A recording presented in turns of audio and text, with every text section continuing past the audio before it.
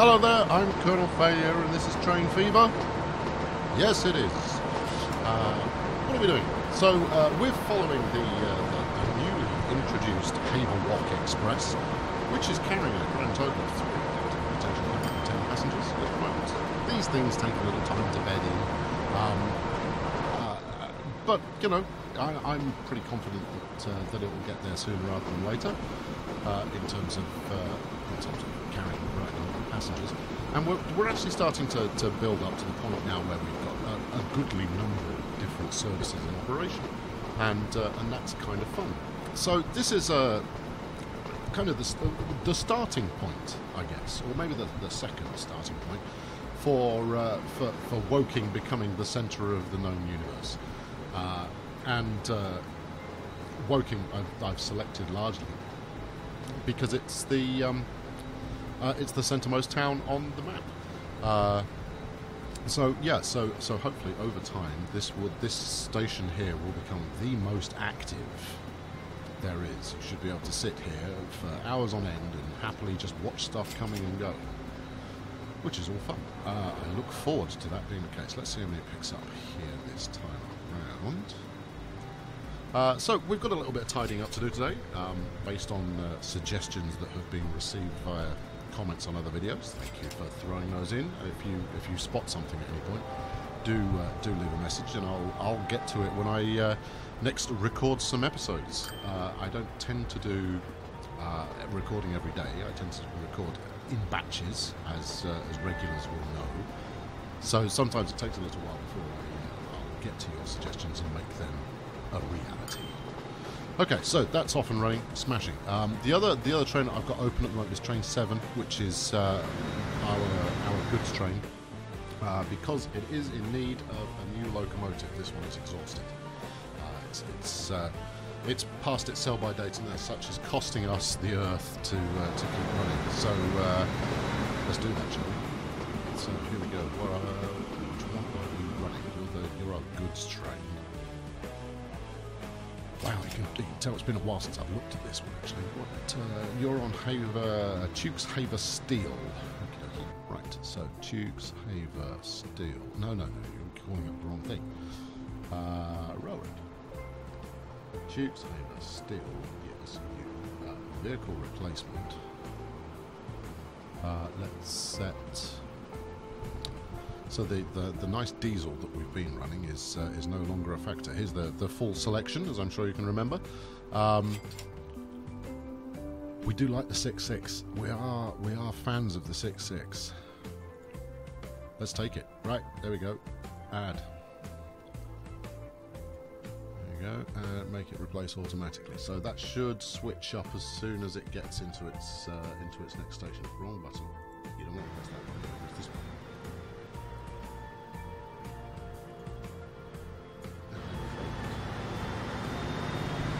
Presumably this will swap over as soon as it gets into the next station since it is overdue.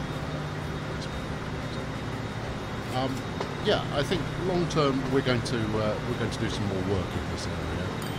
Uh, there's been a couple of observations about this particular section of track that we're using. Uh, in that we're possibly costing ourselves money we don't need to be spending, or rather, we're, we're harming our, our profit opportunities by having this uh, this track sharp, it should be.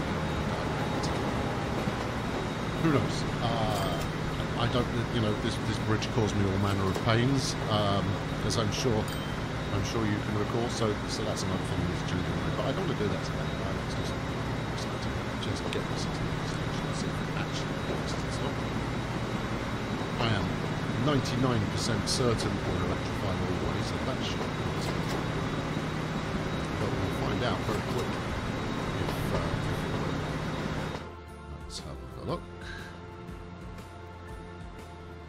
switch up.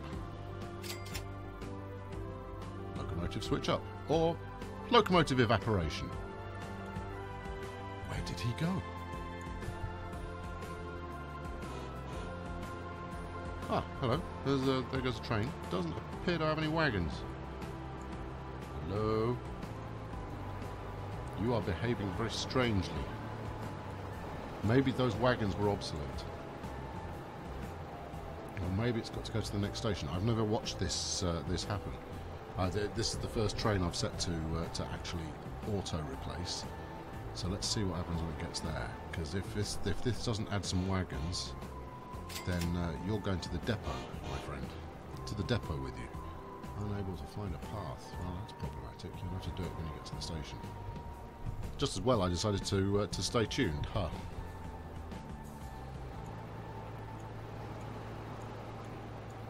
Once you get into here,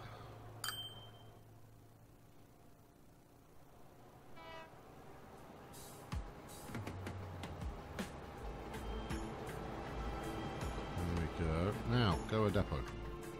You can, look, you can go around here.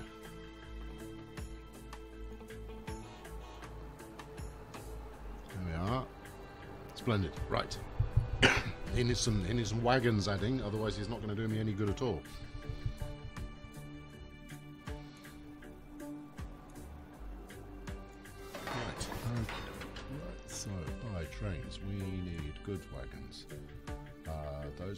From 1940. We got any other choices? No. Alright, uh, one. 26. Uh, let's put four on there. That's like 52. Yeah, that'll probably do it. Uh, set line back onto the Tewkeshaver steel. Off you trot.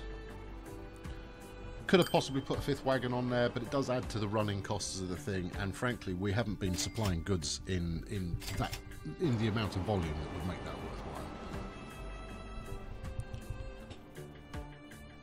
But he will run a little faster than before, so who knows? Maybe the increased frequency of, of pickup will uh, will yield uh, a greater supply of goods in the first place. You never know. There is definitely a causal chain going on between uh, between goods being uh, picked up and delivered and the amount of raw resources that are required. So uh, we'll see. What are you carrying? Can I click you? There we go. Nine. Yeah. See, barely barely worth it.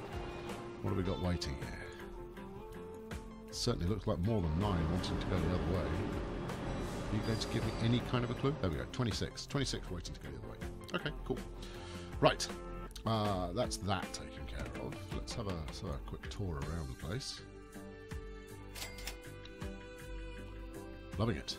Loving it. Lots of lots of goodness happening in Haverhill.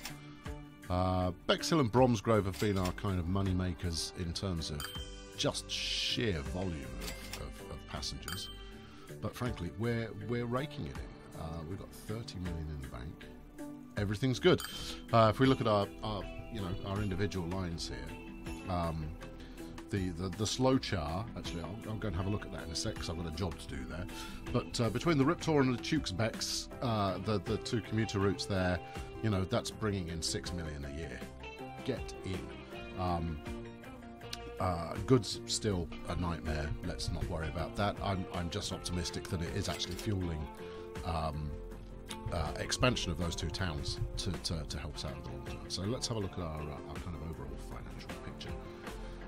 Uh, Five million a couple of years ago. That's that's pretty respectable, isn't it? Uh, two, well, 1.4 million last year, but we did buy a new train. Um, that's you know never cheap. Um, yeah, quite pleased. Pretty, pretty happy. Pretty happy overall. Uh, and with all this money, it allows us to do just all manner of good stuff.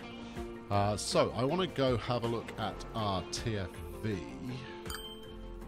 whose location momentarily eludes me. It's over on the other coast. That's right, coast. Uh, here we go. So Barrow up to Chard. No, Chard up to Slough and all stations in between. Right, what we got going on? So it's the uh, it's the slow char commuter. Now, an observation uh, I believe by mildly amusing was that if I high speed rail the uh, the stations, it may aid in the quest for a bit more speed because it uh, it gives that uh, the the train running on there the ability to to really rip it in terms of uh, of, of acceleration.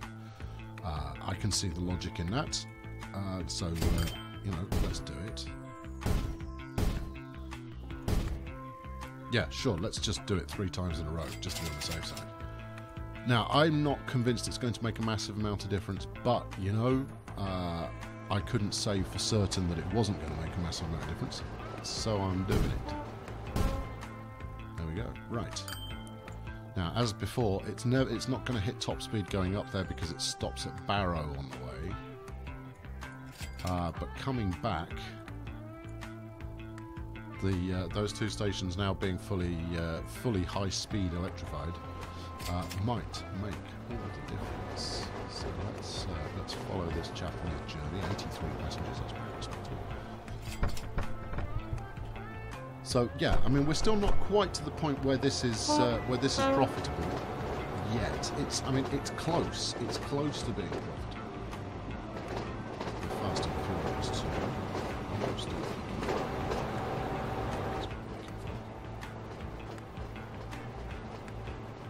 Is a it is a hell of a train. I mean, if we ever manage to get it to carry 256 passengers, it is just going to be making money like there's no tomorrow. Uh, and uh, as such, I look forward to this. Let's see how we do here. Uh, let's uh, let's go rapid fire to get us up to the station to start our potential record-breaking run. So standard line will handle 120 kilometers an hour, I believe. Um, and and as such, it should only be a factor if this train was going to get over 120 before leaving the platform, or on the way in to the opposite side. So here we go. We're leaving now, and the tail end left while we were doing 75. So does that prove anything? Well, the previous top speed was 224. So we are, you know, paying uh, paying complete attention to our uh, our speedometer here.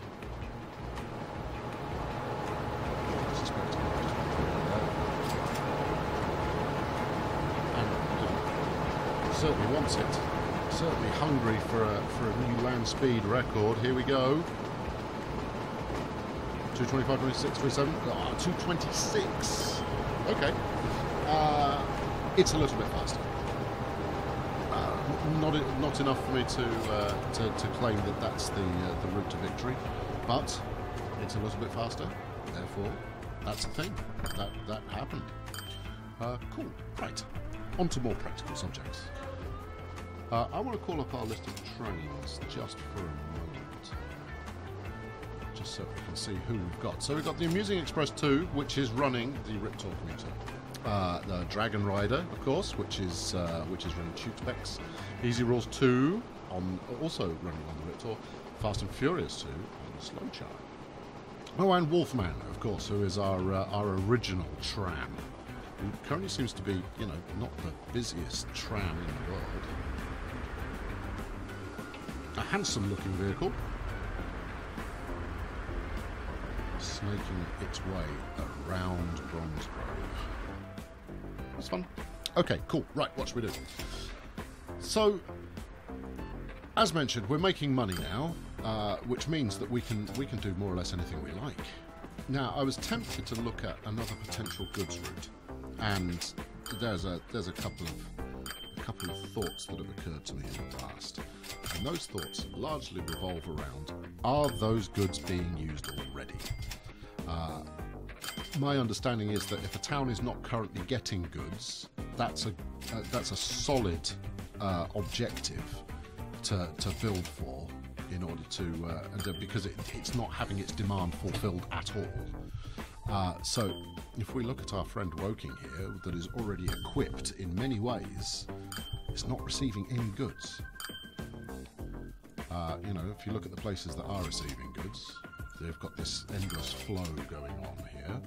Um, Woking not receiving any, and here's a oil refinery. I know I'm tempted to go back to oil refinery action, and here's the oil well.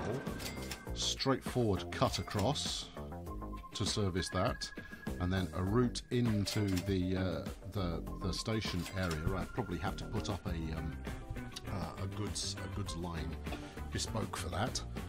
Uh, what do you say? We've got the money. We can afford to throw it away. Well, we, I mean, you know, that kind of attitude is what gets me into trouble. But, uh, but we can afford to throw it away.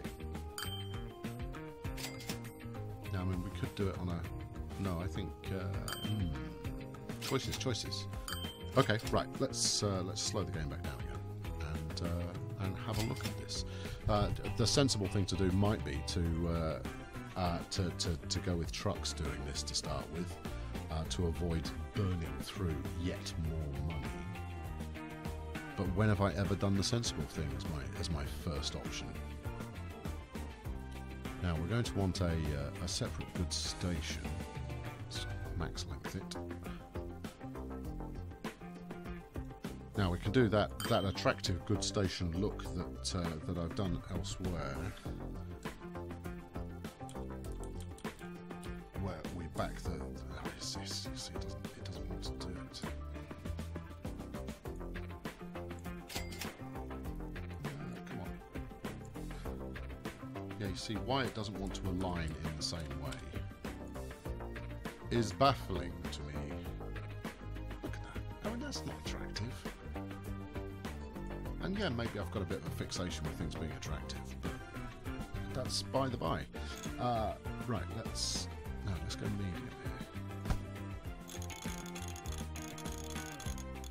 Oh, you get used to being able to build roads in straight lines.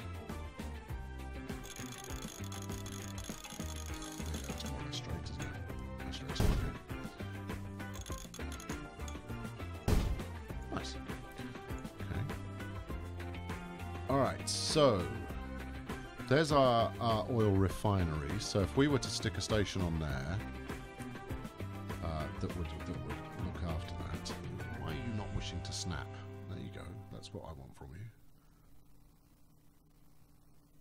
It's all about where the where the smartest location is. Again, it's going to be somewhat curvy.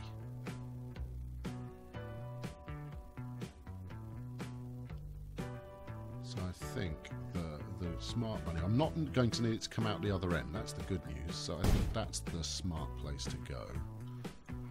It might be slightly overkill as far as uh,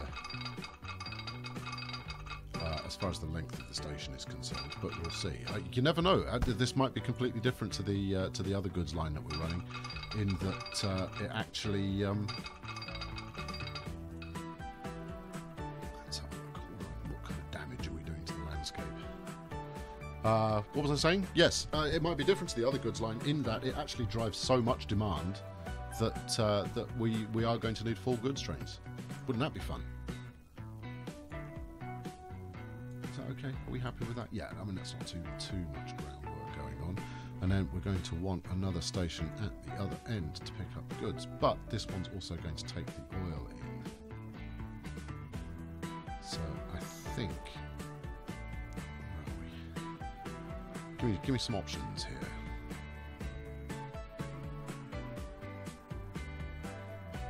That's probably the best route. That doesn't make it easy to build to, but Construction simply not possible. Okay, well let's uh, let's go round in a corner and then see if you think it's still impossible. All right, you want to build a whacking great bit of bridge there. Well, I'm going to need you to split into two lines. So. Uh,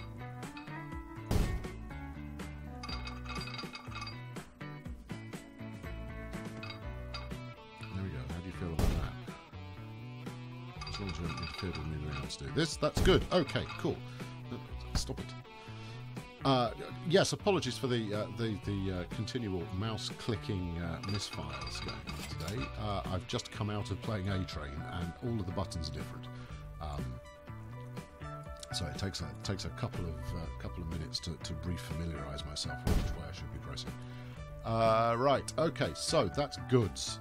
Goods pick up, goods drop off. All being well, that makes us uh, healthy amounts of money. And then we want oil pickup, which is going to come out off this branch over here.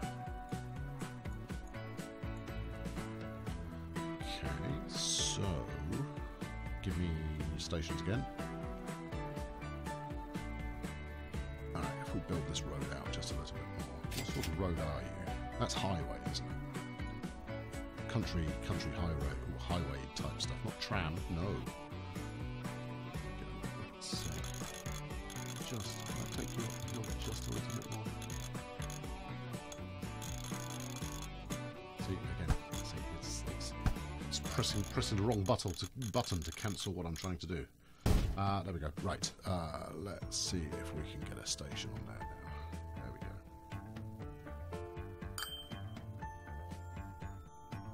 That's nice. There we go. That's about right, I think.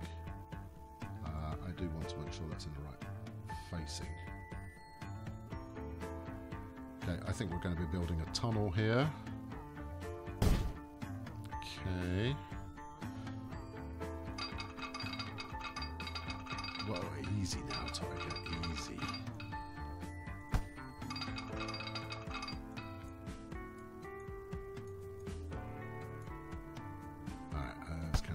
Let's see if we take it the direct route, what does it feel? Also, be aware we're going to want to come out of here and you've put the station in the way. That's helpful of you. Well done. That's the smartest thing I've seen anyone do in, in years. What were you thinking? Can we steer out where we'll have to bulldoze this bit of road? Anyway, uh, let's look at this tunnel. Yeah, okay, that's not too expensive. Idiot. Uh, okay, right. Do we move the station? or do we? Uh, let's let's run a piece of test track from here. Uh, you're don't get too comfortable in that house of yours, my friend. See, that's I mean, that's realistically the only way we can go. I mean, when we get to this section of track here, we can go under it, we can go over it, that's fine, but there is not the room to do that here. Uh, let's uh, put this guy out of, uh, out of home.